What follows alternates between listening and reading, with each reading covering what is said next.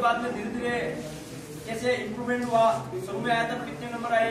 और मैं कितने क्वेश्चन सही करके आया?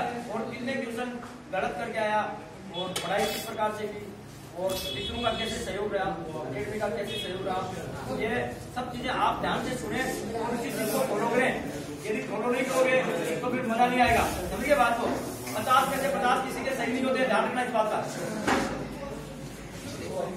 वो दो मुंडे दो भाई हैं कुमार है वो दीजिए उड़ाओ चलो तीन महीने पहले आया था इस ईमेल के अंदर। और मैं मतलब फ़िज़िकल पास करके स्टिपेंड्स में आया था तो मेरे को सर मिले थे। सर और मेरे पापा दोनों दोस्त थे एक यूनिट के अंदर। मेरे गुरुजी थे। और इनके फादर के मेरे फादर गुरुजी थे। मुझे आज बड़ा प्राउड हो रहा है कि मैं अपने फादर का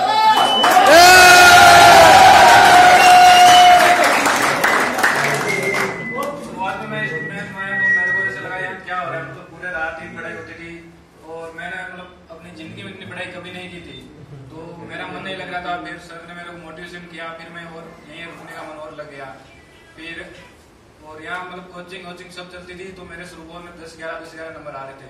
तो वो लड़कों के चालीस से अबव नंबर आ रहे थे तो जैसे मैंने सोचा, यार, पास होंगे या नहीं होंगे। फिर सर ने कहा, नहीं धीरे धीरे एक महीना और रुक। फिर एक महीने रुका, और ग्रुप फिर तीस तीस ऊपर आए, फिर चालीस नंबर आने लगे। फिर मेरे को विश्वास होने लग गया। और मतलब जब जी के, मैथ के और साइंस के तीनों टीचर बहुत अच्छा बताते हैं। फिर जब मेरा पेपर था तो सबसे बात हो गई थी, सर ने कहा, जितने क्वेश्चन आते हैं, उतने करने हैं। फिर मैंने पैंतीस क्वेश्चन अटेंड किए, जिसमें से तीस क्वेश्चन सही थे, पाँच क्वेश्चन गलत हो गए। और सात वालों ने शायद पचास पचास क्वेश्चन अटेंड किए, उनका अभी सिलेक्शन नहीं हुआ है। हम दो बच्चे थे, दोनों का सिलेक्शन हो गया इधर।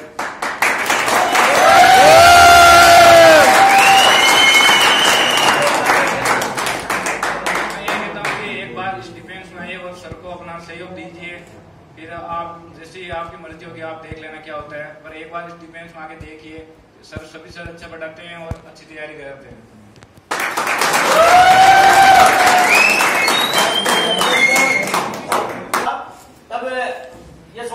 यार भाग जाता हूँ यहाँ से।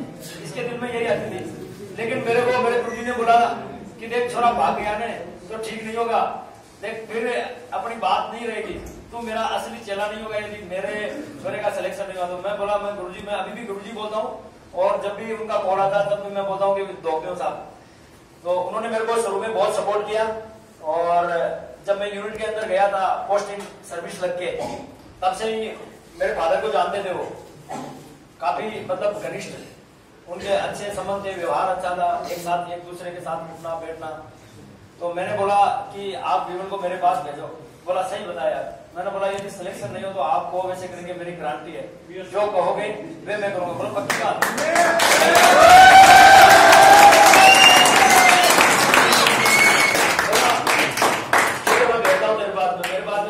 दिया तो ये बहुत ज़्यादा मतलब घबराते हैं। सब नई जगह आते हैं तो दिक्कत ही होती है। तो मैं शुरू में इसको आगे बिल्कुल प्यार से इसके कंधे पे हाथ उतर के बोलता था तो दस बजे सो जाएगा यार। फिर मैं पहले इसको दस बजे सोना स्टार्ट कर दिया। दो दिन इसको दस बजे तक हुआ। फिर मैं बोला, आज यार विमल साढ़े दस बजे तक करते हैं। तो बोला, ठीक है सर। फिर साढ़े दस बजे तक बैठाया इसको। उसके बाद में ग्यारह बजे, फिर बारह बजे, फिर ऑटोमेटिकली इसको खुद को इंटरेस्ट होने लगे कि नहीं यार, अब तो मेरा सिलेक्शन हंड्रेड परसेंट होगा। इसका दो बार रिजर्वेशन करवा दिया, एक बार बोला, मैं जाऊँगा ही नहीं। फ़्लाइट के अंदर यहाँ से बेंगलोर का रिजर्वेशन करवा दिया, जाऊँगा मेरे को साहब ने कॉल किया। बोला, यार, मेरी बात मानता नहीं है तू एक बार ऐसा कर कि यार फ़ोन करके उससे बातचीत तो कर देगा, क्या दिक्कत हो गई? अब इसके दिल में होगी कि अपना नंबर कहाँ है यार? नंबर नहीं आएगा, क्योंकि ये पहले से ही एक दो बार इसने एयरपोर्ट नेवी वगैरह के पेपर दिए तो उसके अंदर रह गया। तो ये सोचता था कि यार, पैरा कमांडो के अंदर तो सिलेक्शन होना बहुत मुश्किल है, क्यों? यही था। तो मैं क्यों फालतू फादर के पैसे लगाऊँ? ये सोचता था, लेकिन हमें तो पता है यार सिलेक्शन इजीली हो जाता है। मैं आपको बताऊँ, जो मेहनती लड़का होता है उसका श्योर सिलेक्शन होता है। और ये फ़िज़िकल के लिए यार बिल्कुल डन बेस्ट अटेम्प्ट के अंदर पूरा फिजिकली इसने क्लियर कर लिया। हरी ने भी क्लियर कर लिया। आगे आया नहीं ना? आ रहा है सर आ रहा है। आ रहा है क्या? और उसके बाद में रिटर्न की तैयारी के अंदर आपको बताइए। वैकेंसी खाली गई है मैं आपको बता दूँ। सेवेंटी फाइव वैकेंसी थी उसके अंदर से फोर्टी फोर बच्चों का सिलेक्शन हुआ है सिर्फ़। तो तीस वैकेंसी क्या है? पेरा के अंदर खाली चली गई है। यहाँ से और भी बच्चों को मैंने बहुत बताया था कि पेरा कमांडो के अंदर जाएँगे यार। अगली बार दस बंदे तैयार किए थे। लेकिन जा पाया सिर्फ़ एक हरी सिंह जा पाया। एक गया था। उसका उस दिन अपने खुद के सेंटर में मेडिकल था। बाकी मैंने एक दिन क्या हुआ, गलती से पाँच किलोमीटर का टेस्ट ले लिया तो पाँच किलोमीटर में सबके पंख पर उबड़ गए। सबकी सांस निकल गई। सोलह सौ मीटर में तो सब कर लेते हैं लेकिन पाँच किलोमीटर का टेस्ट लिया तो उस दिन तो जान निकल गई थी सब। एक ही बंदा बंदा मज़बूत निकला था सिंह वो गया और ज़्यादा इसका सिलेक्शन हो दो लड़के निकले थे। एक बीकानेर का लड़का था, उसने भी फ़िज़िकल फ़र्स्ट टाइम में सारा सब कुछ क्लियर कर लिया था। और, लेकिन वो रिटर्न के अंदर अपने पास आया नहीं तो गलती से आज बड़ा दुख होता है कि एक बच्चे का सिलेक्शन और हो जाता तो मज़ा आ जाता। चलो, ठीक है, आगे आपको अभी अभिषेक बताएगा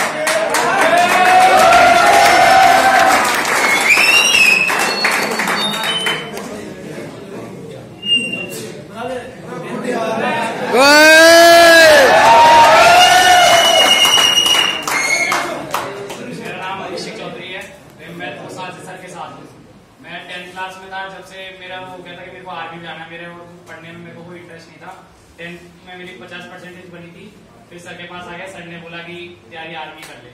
मैं ठीक है स्टार्टिंग में मेरा वेट था एट्टी फाइव धीरे धीरे एक साल तक तो मैं कम करता रहा इंटरेस्ट इतना नहीं था धीरे धीरे दौड़ता रहा देता रहा। दूसरे साल में कॉम्पिटिशन बढ़ता गया करता गया और फिर दूसरों को देख देख के मेरा भी जोश आ गया और मैं भी दौड़ता रहा। फिर एक साल बाद भर्ती आई फिर सा- सारा सपोर्ट सर का है। सर ने बताया जैसे मैं चलता गया। एक भी चिनुक नहीं लगती थी एक भी चिनप नहीं लगती थी। एक चिनुक कैसे होती आज एक साल तक मैं परेशान था कि चिनप नहीं लग रही। दौड़ तो हो जाएगी चिनप कैसे लग रही चिनप कैसे लग रही। सर बोले तू करता रहा करता रहा। फिर सर ने डम्बल वम्बल सब दिए। उससे होता रहा। फिर दौड़ हो गई मेडिकल हो गया। फिर पेपर में आया।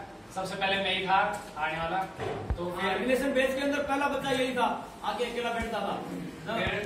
ऐसा आता था मैं कुछ भी नोट्स वोट्स कुछ नहीं बैठा रहा पढ़ता फिर मैं अकेला पढ़ता था मेरा मन नहीं करता था पढ़ने का।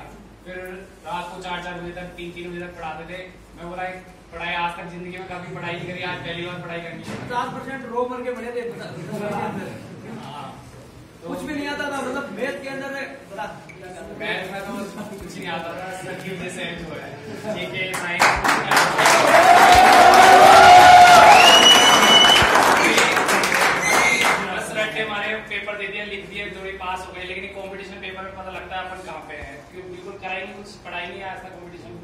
पहला ही पेपर था पहले में क्लियर हुआ। पहली बार दी पहले हुई है मेरी। अठारह अठारह। साल हुई है अभी देख लो लेकिन दो साल पहले तैयारी स्टार्ट कर दी थी पहले और मतलब कुछ भी नहीं आता था। पेपर के अंदर ये मान लो कि दो दो तीन तीन नंबर आते थे दो स्टार्टिंग दो तीन दिन क्या एक मतलब ये ये मान लो कुछ भी नहीं आता। यदि माइनस मार्किंग निकालते हैं तो एक नंबर भी नहीं पड़ेगा। मेरा हो सकता है सिलेक्शन तो सब भाइयों का हो सकता है सिलेक्शन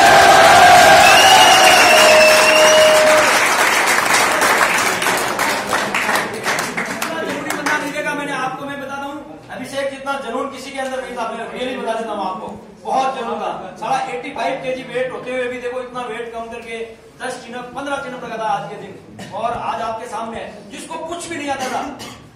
और कितने सवाल की सवाल मैंने पैंतीस करे थे उसमें से ट्वेंटी सेवन सही गए सत्ताईस सवाल सही हुए आप देख लो सत्ताईस सवाल वाले का सिलेक्शन हो चुका है। राजनीति के अंदर ठीक है? लेकिन यदि 50 करता तो बेड़ा पार नहीं होता किसी भी कंडीशन के अंदर। मैं एक ही बात बोलता हूँ जितने आते हैं उतने अटेम्प्ट करो बस ठीक है और और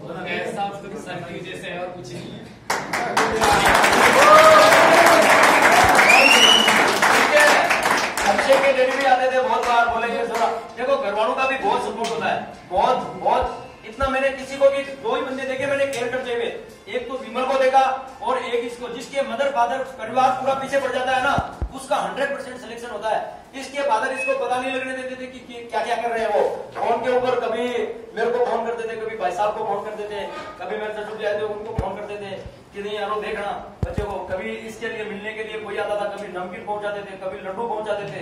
और ऐसे करके कि यार देखो बहुत बड़ी संपत्ति होती है, सबसे बड़ी संपत्ति अपने माँ बाप के पेरेंट्स के औलाद ही होती है। और यदि औलाद सक्सेस नहीं है ना तो कुछ भी नहीं है दुनिया के अंदर। तो वो सोचते थे, यार, एक लड़का तो आर्मी के अंदर है ही। इसको कोई रिजर्वेशन रिजर्वेशन तो मिलना नहीं है। नंबर नंबर मिलने नहीं है। और इसका सिलेक्शन नहीं हुआ तो अपना बेड़ा मतलब अपना जो जीवन है, उसके अंदर दो लड़के दोनों में से एक एक को दोनों को बराबर नहीं करेंगे तो मज़ा नहीं आएगा। क्योंकि एक सर्विस लग गया, वो तो अब जाएगा ही जाएगा, इसमें कोई डाउट ही नहीं है। और वो पता कब लगता है? वो दस साल के बाद में पता लग जाता है कि यार, एक बच्चा तो बहुत आगे पहुँच गया और एक लड़का आज यहीं पे है।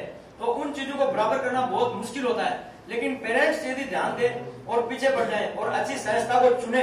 और यहाँ भेजे तो आज आपके सामने मनीष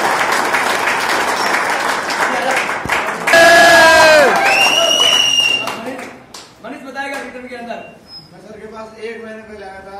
उस टाइम इतना पढ़ाई में वीक करने बहुत ज़्यादा तो पापा मैंने स्टार्टिंग में बोला था कि सर के पास जाऊँगा, क्योंकि सर को आज बच्चे दौड़ते थे तो देखता था मैं टेंथ क्लास से। सर, मैं टेंथ में था तब मैं गेम बोली थी।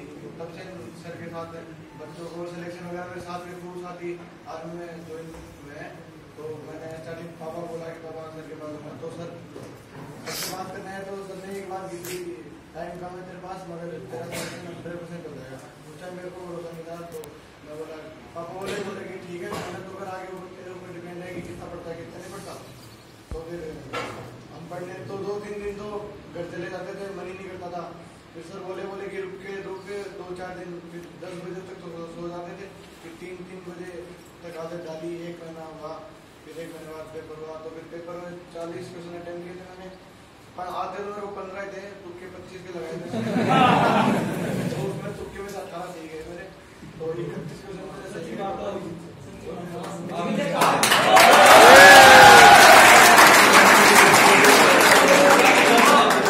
ये नहीं लगाए। इसको साठ परसेंट उसके ऊपर क्या था? कि यार ये सवाल सही हो सकता है सही हो सकता है। तो इसका मतलब तुर्की मास्टर है।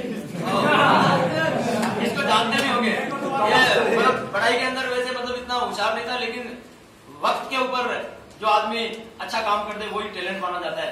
यदि समय के ऊपर आदमी सही काम नहीं करता तो फिर मज़ा नहीं आता है। सबसे लास्ट में आया और सबसे बेस्ट में इसी का रिज़ल्ट आया और सबसे बेस्ट में इसी का पेपर हुआ आपको मैं बता दूँ। लास्ट में पेपर के अंदर भी ये चालीस चालीस के सबसे पहुँच गया था। लेकिन इसके मन में बहुत थी पढ़ने की। राजकुमार इसका दोस्त वो तो भाग जाता था। और ये कभी नहीं जाता था। राजकुमार। जाए राजकुमार। वो भाग जाता था मैं पूछता था राजकुमार कहाँ है पूरा राजकुमार का पता नहीं लेकिन ये वक्त, ये मतलब अपने, जो आदमी अपना भला नहीं कर सकता ना, वो दूसरे का क्या भला करेगा यार? मेरे ये समझ में नहीं आई। आज ये अपने लिए पुलिस ने फिट किया और राजकुमार जो होता है, मैं तो दूसरों की डोलियाँ बाँध।